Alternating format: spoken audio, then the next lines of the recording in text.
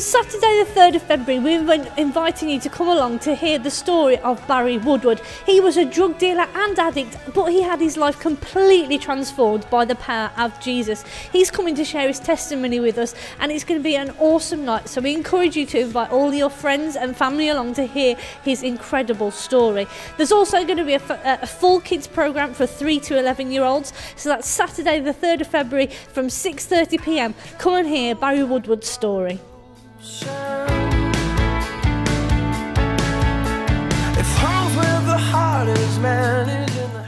All of our weekly youth and children's programmes are now back to normal after Christmas. So that's Noah's Ark, our stay and play parent and toddler group, G-Force, our club for children who are at primary school, and then 180 for anybody who is at high school. If you want more details about any of those programmes, then please go and speak to our welcome team.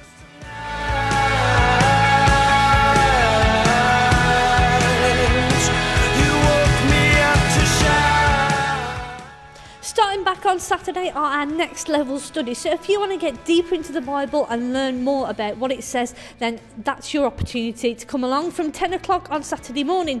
That's everything for Excel News this week. We hope you have a fantastic week and a very, very happy new year.